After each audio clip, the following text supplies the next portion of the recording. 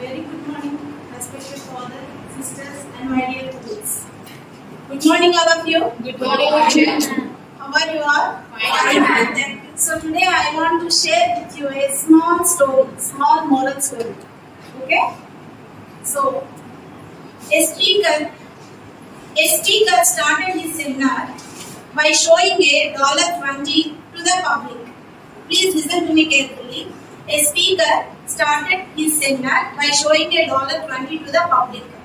He asked the people who wants this money. All of them raised their hands. We want that money. All of them raised their hands and said, We want that money.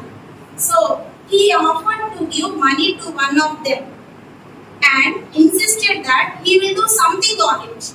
Okay, he offered to give money to one of them and insisted that he will do something on it. Next time, he crumpled the paper, folded the paper, folded the paper money and showed it again to the public and offered it, offered it to them. And asked again and he asked again and he asked again the same question. Who wants this money? Still everyone raised their hands and said they want that money.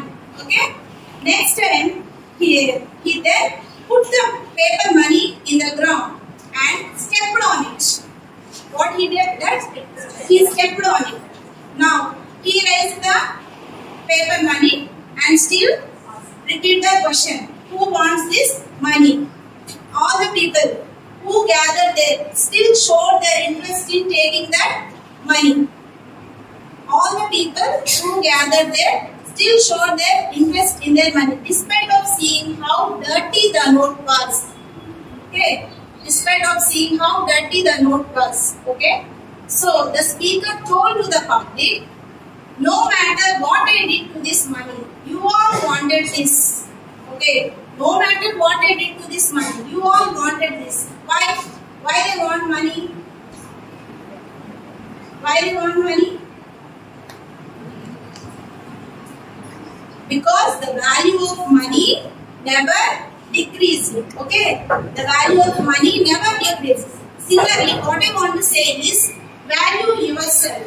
Okay despite of painful conditions and failures, first you have to value yourself. Okay? So, my dear colleagues, believe in yourself. Believe in yourself and work hard to achieve success.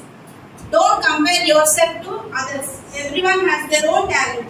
Don't compare yourself to others. Thank you for being here.